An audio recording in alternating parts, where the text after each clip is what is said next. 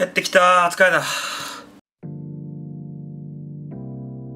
これ何か分かりますか？今日はこのこれ何だと思います？まず当ててみてください。実はこれお弁当でコンビニなどで温めてもらう時にあのお持ち帰りというとこれに入れてくれます。これすごい便利でこの中に、えっと、お弁当が入ってるんですけどこのスプーンとか箸とかこのなんだっけナプキンティッシュ。も中に入っててこれ持っててもこれ落ちないんですよ。横がこういう網網になってて。これでこうブロックされて落ちなくて。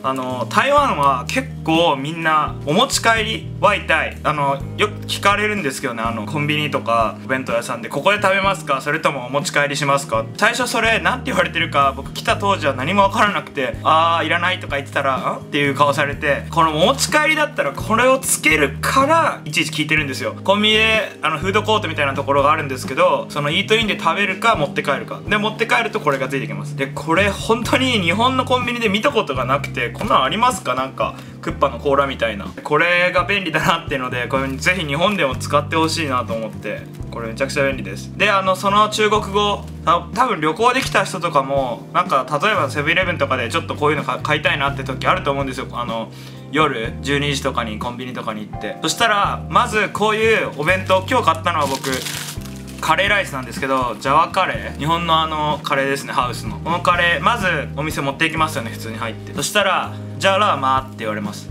なんどういう意味かっていうと「温めますか?」って「じゃあラーマー」で温めてほしい時は「やお」って言って温めなくていい時は「ブヤオ」って言ってそうやって乗り切ってください。でその次に「ね4 Y たい」っていう言葉を聞かれますね4っていうのは、えー、中で食べる。そのフードコートとかイートインで食べるってことでワイタイっていうのはお持ち帰りするっていう意味。でホテルとかに持って帰って部屋で食べたい人はワイタイって言って。で後でお金払ってでそれで終わりです。でもそれ最初来た時分かんないと思うのであの何言ってんだろこの人って思うと思うんで気をつけてください。まああのホットとか言われると思うんですけど英語で。まあでも一応そういう感じで日本と台湾でまず、まあ、お弁当のその、まあ、言う言葉とはあの言語は違うだけですけどこういうのがあるのであのここで食べるか温めるかってあの持って帰るかって聞かれるんでそれだけ気をつけてください。本当に便利なこれ。